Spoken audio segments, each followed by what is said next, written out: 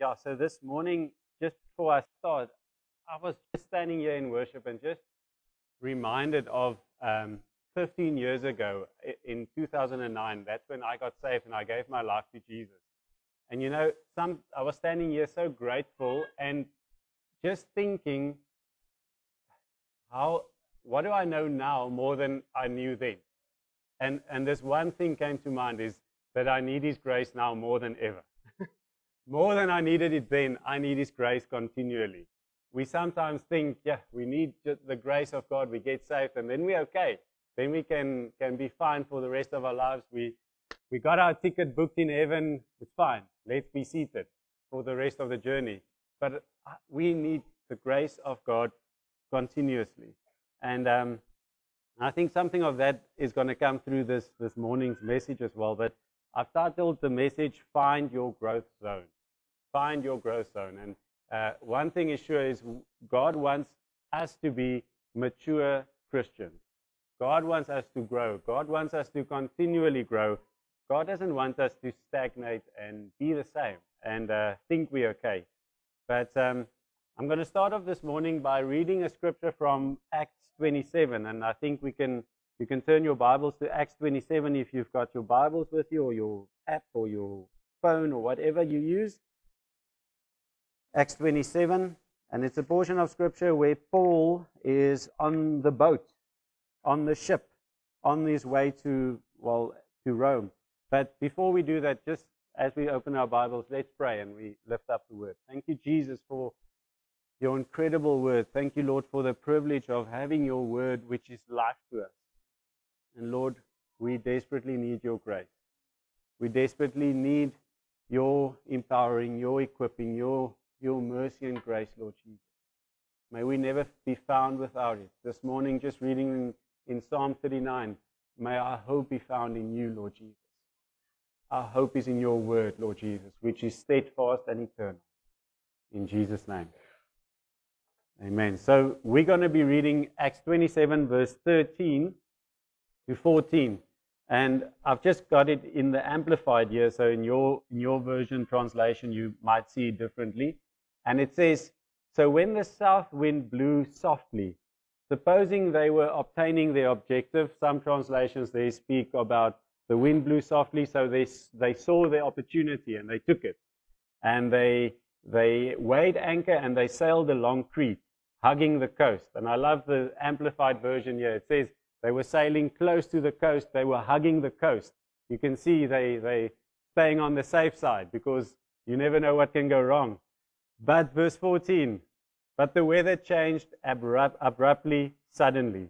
A wind of typhoon strength, the northeaster they called it, caught the ship and blew it out to sea. How many of you know that storms come suddenly? we don't always expect them, but they come suddenly, they, they, they're just there. And you know, if, if we knew they were coming, we would probably prepare differently. We would, we would do things differently if we knew they were coming.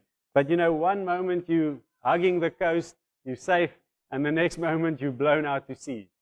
That's the way it happens. The storms in life, the, the trials of life come that way. We don't expect them. One moment we, we're happy-go-lucky, we're safe, where the sun is shining, and all of a sudden, boom, something bad at work happens. The doctor gives us bad news. The, uh, a bad deal goes wrong. Uh, relationships crumble around us. Storms of life happen. And I think we find ourselves ill equipped to handle it sometimes because we think but I'm born again. It should go well with me. And then I think that's one of the things that, that is, um, that's wrong with, there's a, like a Christian problem in the world with, call it, some call it the, the prosperity type gospel, where there's this, this misdirected untruth about the gospel where it's all about me and my needs and my comfort. And it, there's something wrong with that because it's not the way God designed it. And it's a gospel that's mis, that is, has a misunderstanding and a, I want to say a disregard for the trials and the, the sufferings and the storms that life throws at us. It's a gospel that says everything should be smooth sailing. But as we see in the story of Paul, everything is not always smooth sailing. And do we have a theology, a hope that is secure enough to take us through the storm? Through those times where life hits you from the, from the left and you weren't expecting it. See, Jesus didn't say, Follow me and we'll have a smooth sailing. if he did, life would be very different. But, but you know, I think part of the problem there is also we think because we have faith in Jesus, because we follow Jesus, God owes me something. God owes me something, and He has to give me my health. He has to give me my, my, my needs. He has to provide for me. And I'm not saying God doesn't want to, God wants to. But it's not because God owes me that. And that's something we need to have settled because we miss out on the vital necessity that, that we have to live out, work out our salvation with, with, with reverence, with awe, with this, with this yeah, laying down before Jesus. That's the way we need to live out our salvation. Um, I wrote here, we need to constantly dethrone ourselves and enthrone God, enthrone Christ in his rightful place in my life. There's this constant struggle in our lives. It's the process of me becoming more like Christ, where I dethrone myself, less of me, and in the same process, I'm enthroning Christ. I love that, that, that, that dichotomy of the one happens and the same time the other one happens. But we've got this problem of the fallen human nature. And maybe not you, but in me, that fallen human nature is so alive. It loves its comfort and convenience. I don't know about you, but me, hey man, we, we like the comfort. We don't like storms always. But it's the very opposite of what kingdom sacrificial living is all about. Kingdom sacrificial living, sacrificing our lives daily. And that's a concept that is tough to hear, and I think it's a concept that is, it sounds so big and out there. It's not relevant to me, you might say. But this morning I'm trusting that we can break it down and make it like practical handles of how do I live out my sacrificial kingdom living? How do I do that practically? So uh, Paul was on his way to Antioch in Acts 14, verse 22. And it says he went around strengthening the disciples and encouraging them to remain true to the faith. So he was going around encouraging the guys. And this was his encouraging message. We must go through many hardships to enter the kingdom of God. How encouraging is that? yeah, I, you know, we, we don't often see this on wedding cards or birthday cards like, hey, hope your year is great, many hardships for the kingdom. We don't see that. Maybe in my next wedding card, we need to write that one in. Hey, but, but you know, this was encouraging for, for Paul. He was, he was preparing them for the storms of life and saying, Be encouraged. There might be storms, there might be hardships, but you've got the grace to go through this. And you know, the, the whole of the Old Testament, it's there for a reason. We know the Old Testament is there for a reason, but we, we constantly see the sacrifices that they made to, to, to God. And we might think back and say, oh, that's just religious acts that they were doing. But no, the sacrifices that they made towards God was their act of worship to God. And there's this, this thing that happened where they brought the, the, the blood of goats and bulls and animals as a sacrifice in a trade off for their life. And they realized that as they bring the sacrifice, it's an act of worship because they remember, God, that animal had to die so that I could have life. How thankful I am, God, that you, you made a way for an animal to take my place. But we know from Hebrews uh, as well that it's impossible for the blood of goats and bulls to take away our sins for always. We know that it was temporary back then, but Hebrews 10, verse 10 also says, And by that will we have been made holy through the sacrifice of the body of Jesus Christ once for all. That thing settles it so much in our hearts. Jesus was the ultimate sacrifice, the perfect sacrifice once for all, for everybody. And when I read that, I know that, you know, it's a perfect sacrifice. Nothing can improve the sacrifice Jesus made. Nothing can add to the atonement he already paid for. It was perfect. Nothing can be added. Why am I saying that? Because it comes to me that, you know, any sacrifice, however big or small I make, cannot add to the atonement that Jesus already. Nothing I said, I might think, whoa, you know, Jesus, whew, I, I prayed for the sick at the eye clinic. What a sacrifice. I'm adding to your atonement. We might think that way. And Jesus is like, no, no, no. No, that, that was done. So why, if Jesus paid it all, he was the perfect sacrifice, why do we still need to live a sacrificial life? Good question. Why do we still need to sacrifice? Not bulls and goats. I think we all gather that that's not the sacrifice we're talking about. It's living our lives as sacrificial lives. But why do we still do need to live sacrificial lives if it's not adding anything to what Jesus has done? Romans 12, verse 1 encourages us. It says, In view of God's mercy, offer your bodies as living sacrifice, holy and pleasing to God. This is your true, proper worship. I need to live a sacrificial life because it's worship towards God. It's my true and proper worship to God. It's pleasing to God. I want to please God. Not because I have to, because He's worthy of it. I want to worship God true and proper. Not because I have to, not because it's a law, but because I owe Him everything.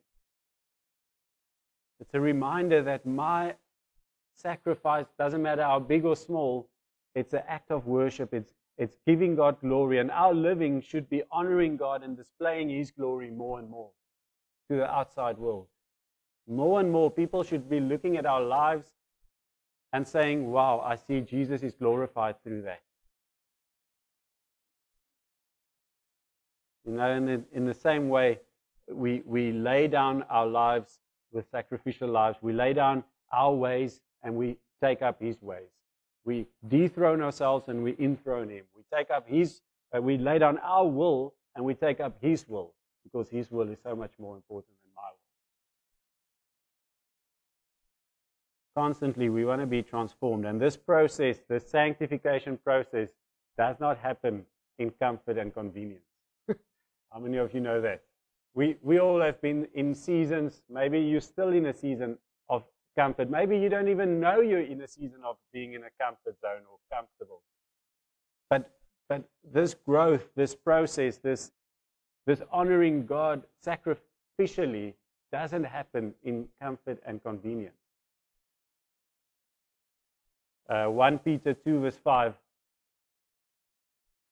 Peter encourages the church there. says, You also, like living stones, are being built into a spiritual house to be a holy priesthood everybody included, the holy priesthood, everybody included, says offering spiritual sacrifices acceptable to God through Jesus Christ. What's the thing that makes my sacrifice acceptable to God? Only through Jesus Christ.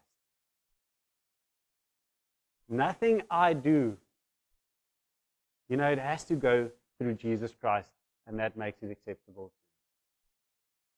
however big or small it is, whatever I think I'm doing, I want it to be pleasing to God. And that's why I want to do it with Jesus, through Jesus, with Jesus in me, with Jesus with me.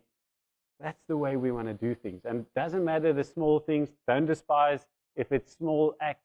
Doesn't matter how big or small it is. If it's in, in with the right heart and towards God, it's going to be pleasing to Him. We often get in my mind, I see it this way. We often get so overwhelmed if a task is too big that we'd rather just not do it at all and we just back off totally. But when we can break it down into small, reachable, doable steps, then we like, well, but, but I, I can do that one thing. And that's what Jesus desires of us. There's a guy called J.C. Ryle. He had this uh, quote. He said, Souls are perishing, time is flying. Let us resolve, by God's grace, to do something for God's glory before we die. And that word something stood out for me like anything.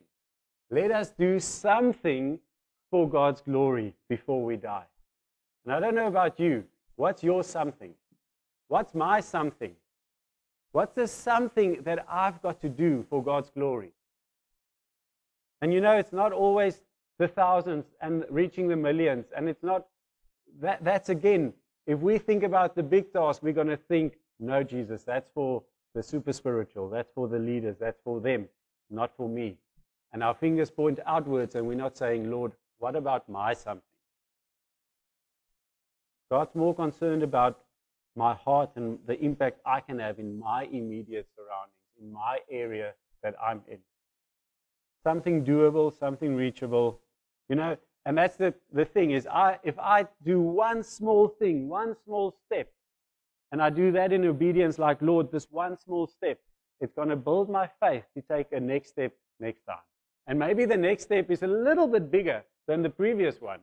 And the next one might be even a little bit bigger than the, the previous one. And eventually we find ourselves running in the things of God and we don't even thinking of the small task, big task. We're just saying, what next?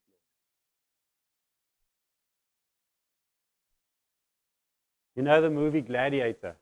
Incredible movie. Everybody knows it. Hopefully, if you haven't watched it, gap in your life. But imagine I say to you this morning, you have to make a movie like The Gladiator. Go and make the movie. I mean, whoa. First of all, it's a good movie. I don't think I can do it. Where am I going to start? I don't even know. And that's the overwhelming part. Like, where do I even start? But what if I told you we're making a movie. Carl, won't you just hold the mic for us, please? Or like, Weinand, won't you just hold the light for us? We need light on that scene. Um, one of my patients, I remember, he was a location scout for movies.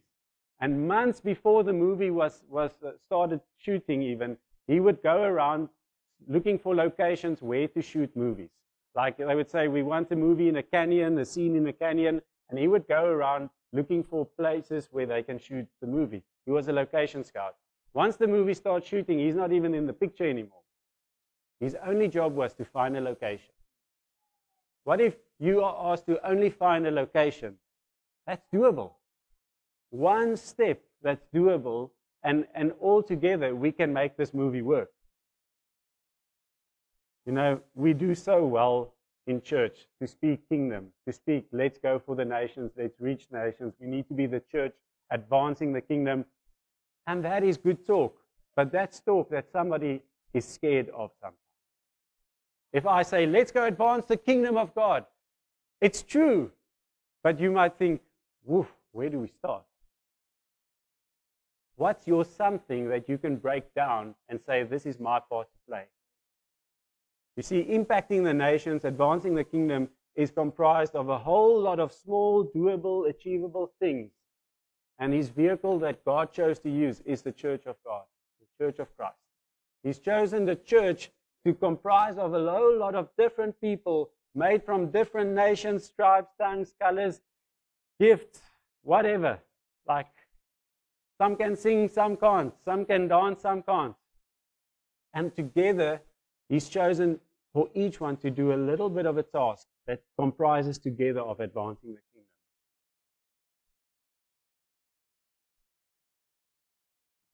And yes, God wants us to step out into the nations. God wants us to go to the nations. When we do that, something in our hearts breaks open because we realize God wants to do more in us and through us. And we, we get the context of what, how God wants to reach the nations, and we can bring that back to encourage others to do the same. Hebrews 13, verse 16. Such an incredible, practical verse. It says, And do not forget to do good and to share with others. Just think, when last do you feel that you do good? Just a small challenge. When last did, did I do good? When last did I share with others? Don't forget to do good and to share with others. For such sacrifices God is pleased with. Such sacrifices. Like, I'm not reading there, convert a million people. I'm not reading there, do preach to a thousand people. I'm not reading that there. I'm simply reading, don't forget to do good and don't forget to share with others. God is pleased with sacrifices like that. That is sacrificial living. And you know, that word sacrifice, it implies a cost. It will cost me something. I wrote here, my something will cost me something. But not doing something will cost me everything. And it impacts me because we, we, we get so overwhelmed with the big things, we forget to do the small things, and we, we end up doing nothing. We end up not doing my something, and it end up costing us everything. You see, it might cost my me giving some of my belongings to someone in need. It might cost me my time, a little bit of my time, to go pray for somebody. And I wrote here, pray for the sick, pray for the sad, pray for the hurting, and pray for those celebrating. Why do we always link prayer for each other with just the sad, healing, hurting part? Why don't we just pray for each other more? When somebody, there's a new addition to the family, we pray for them, bless them. Somebody has a new adventure, a new, a new house, a new job. We pray for them, we celebrate with them. It might cost me time because I have to go celebrate with them. Might cost me my skills and my gifts for the sake of the community in the church. It might, might cost me my service serving somebody for, for the sake of blessing somebody else. It might cost me to take a step of faith, to risk a little, to go into the area of risk for the sake of impacting another person next to me, maybe even impacting the city, maybe even, dare we say, impacting the nation. There's a cost involved. You know what David said? David wanted to give a, a sacrifice to God, and, and a king wanted to give him the, the land and the oxen and everything. And David replied to him, No, I insist on paying you for it. 2 Samuel 24, verse 24 says, I will not sacrifice to the Lord my God burnt offerings that cost me nothing. David understood something of sacrificial living. Like, Lord, if I'm sacrificing this thing to you, it has to cost me something because I have to feel, Lord, this is, this is me laying down something of me, costing me something so that I can worship you proper and true. I can give you the, the, the, the honor and the glory that you so deserve. If sacrificial living is costing us nothing, then we have to question our hearts.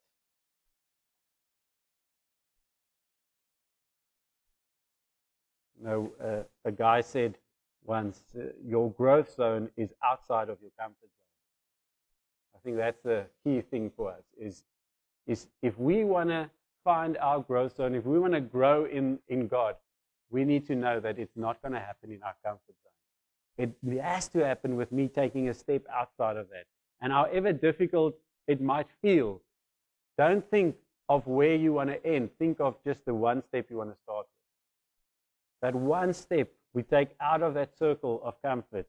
And once we're there, it's going to feel unsecure, it's going to feel risky, it's going to feel weird, and then once we stumble across to the next step, we're going to learn this uh, new thing. We're going to learn something new about God, about ourselves. And I remember these circles with our identity as the circles are moving ever closer over each other. We stumble into more of what God sees about us, knows about us. Sacrificial living. Small, doable, achievable steps towards growth. There's an unknown author that, that had this quote. Yo, standing in your pain is no easier than taking steps to move ahead. The comfort zone was never intended to be a place for us to build permanent foundations. And it's, it's so true because standing in your pain, we think it's, it's so painful. I think that word that, that, that Devin had this morning of just like a festering wound, you know, we, we maybe feel like we've got that wound and it's so much easier to just remain in the comfort zone where we are because it's easier. We think it's easier, but it's really not easier. Maybe that one step, taking it one step out of that comfort, asking somebody for prayer, stepping out, that might be difficult, but it's not more difficult than staying in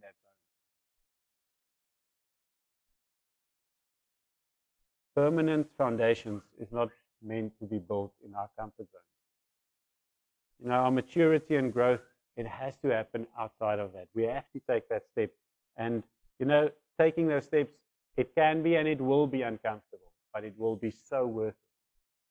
And it's not just worth it, it is doable, it is achievable by the grace of God. We need the grace of God to help us with those steps.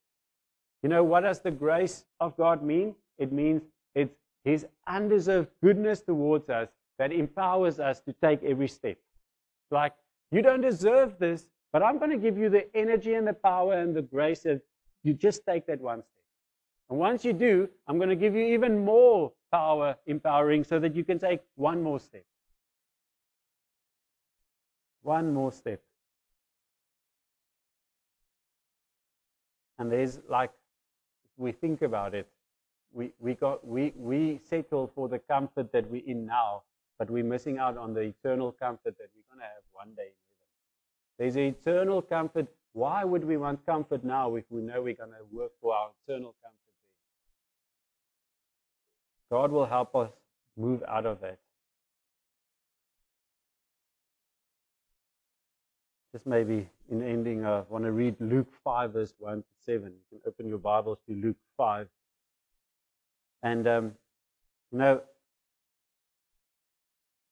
growing is not always easy and it's challenging. And maybe like this, this morning, I'm trusting it would be like Paul's words in Acts 14 as well. It would be encouraging, but it's also challenging.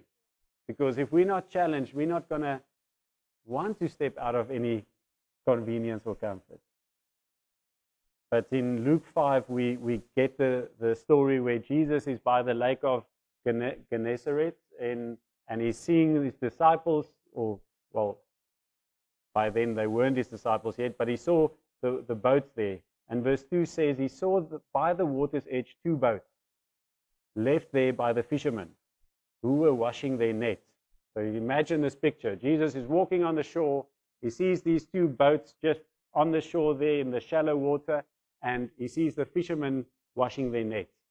Now, I don't know about you, but a, a boat in the shallow water is not going to catch any fish. Okay? And nets on ground is also not going to catch any fish. And it might be a good idea to wash your nets every now and again, but it's not where we're going to be catching any fish. And then Jesus got into one of the boats uh, that belonged to Simon. He asked him to put it a little off to shore, off from shore, and he sat there and he taught the people from the boat. And then verse 4 it says, When he had finished speaking, he said to Simon, Now put out into deep water. He's saying, saying to Peter, Go out deeper, Simon. Go out deeper and lay down your nets for a catch. And, and I think that's one of the calls, one of the commands, one of the encouragement Jesus has got for us. Is too many of us have been maybe playing in the safe, shallow shore. Too many of us has been washing our nets, preparing our nets. And I just feel God's encouraging us go deeper. Go deeper. Go throw out your nets. Go throw out your nets. You know, ships are safe in harbors, but ships are not made for harbors. Ships are made for the open sea. Ships are made to be out there. Maybe good for a season to be in the harbor, get some replenishment, some new stock, some, some repairs. But then once we're ready, we need to be heading out again, deeper water. Verse uh, 6, I think. Yeah. Verse 5 Simon answered, Master, we've worked hard all night and we haven't caught anything. Now, many of us would have exactly the same answer that like that. And our answers might vary a, vary a bit, eh? But but maybe we say to Jesus, like, Lord, I've been working a little hard, eh? I'm tired. Or maybe, Jesus, I've, I haven't seen the results, so I, I'm not really keen to try again. Or maybe, like, you don't know what's happening between me and my wife. Like, and you don't know what, what, what's happening at work. You don't know how my budget is looking. You don't know, I don't have any leave left. I don't have any time to go and do this. Think of all the excuses Let's get it out. All the excuses. But when we've had all the excuses and we lay those before Jesus, may we answer what Peter then answers, or what Simon then answers. Says, But because you say so, I will lay down the net. In spite of all our excuses about why we, we don't want to, May we answer Jesus in that same way and say, But Lord, because you say so, I want to do that. There's this call for us to, to like those fishermen, become fishers of men in different ways, in small, doable ways, one step at a time. And you know what these fishermen did?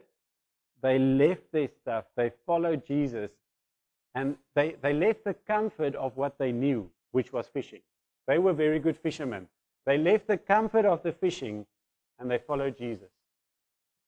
That's such an incredible picture of somebody willing to leave behind the comfort and just go into something unknown, something they, they are not comfortable with.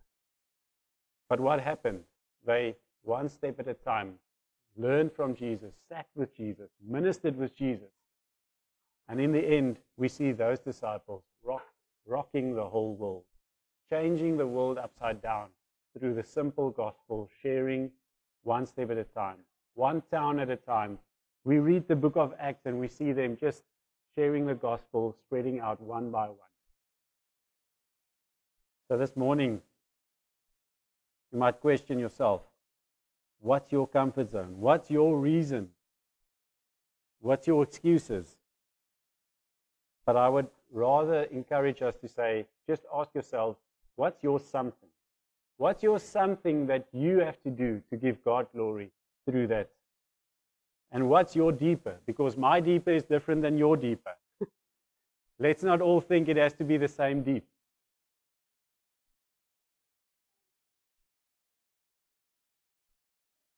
Yeah, you know, many, many might have been through storms and trials. Many of us might feel like we're still in a storm. But I just believe God wants to, to give us a, a hope and a security in who He is, in the small steps that He wants us to get through the storm, the suddenlies. He wants us to get through that.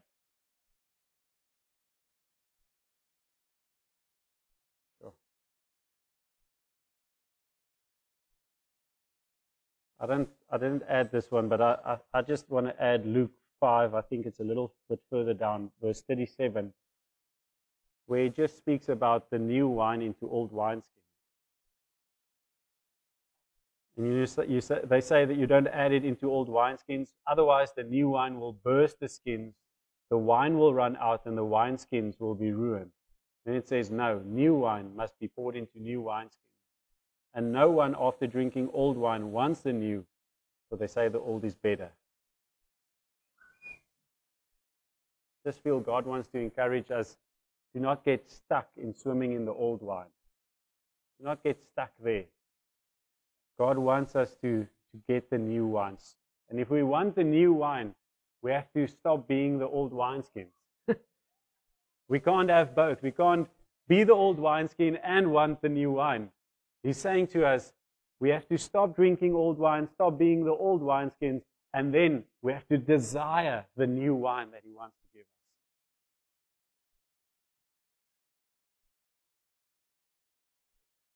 What's your something? Let's close our eyes. Yeah, Lord. Lord, I want to thank you for your incredible, incredible presence and your love this morning. That we go through this room, that you know each and every single one. You know each one of our hearts. You know what we go through. You know the storms. You know our shallow waters. You know our flaws and our faults. And in spite of that, you love us. You cheer for us. Wow, Lord, you desire the best for us. Lord, I want to thank you that this morning we would, we would realize that there's more out there for us when we take one step of obedience towards you, Lord Jesus. Lord, I want to, want to pray that there's this almost this shaking in our hearts that that we don't want to remain in, in comfort and convenience. Lord, I want to pray that we, we, we run after you. But if we have to start with one small step, I pray that we do.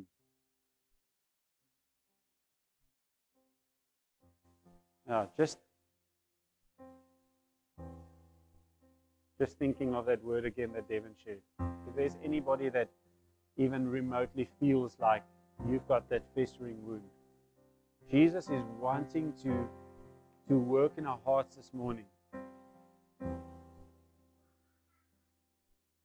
Maybe you feel like your, your, your footing has been shaken and you feel so insecure. Maybe God is wanting us to feel so insecure in our comfort zones that we want to step out into more.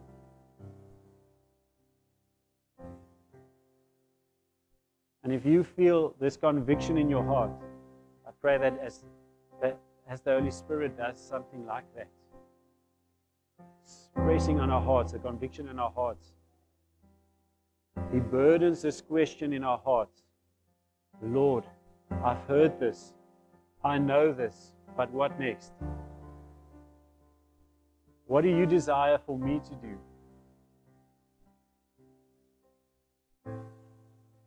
So many of us maybe are waiting for God to speak, but maybe God is waiting for us to step out. And as we step out, God speaks more.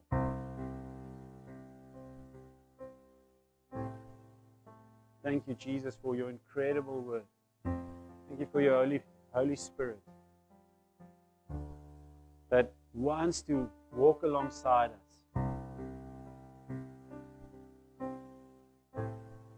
Jesus, you're calling us deeper.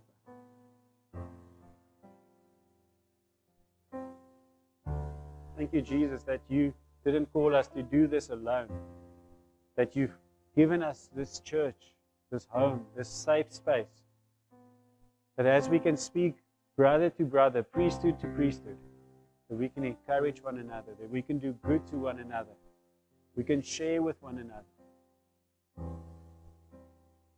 Lord, I pray for a breaking of our hearts for more of you, breaking of our hearts for more for other people, Lord Jesus.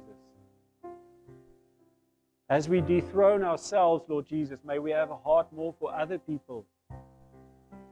May we enthrone you in our, in, in our lives to the rightful place, Jesus Christ.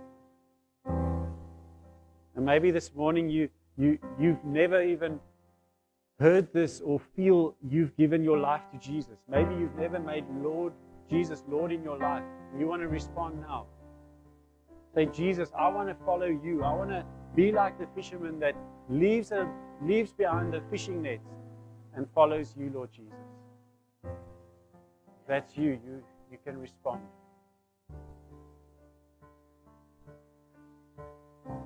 Lord, in our hearts, we all want to respond and just say, Lord, take us deeper so that we can throw out our nets. And you know the end result of that story? They threw in their nets, and it was so much fish, they couldn't handle it alone. They had to call in the partnering boats next to them. As we take on this call and go deeper with the things of God, we're going to be so overwhelmed in a good sense. We're going to call our friends next to us and say, Come and help.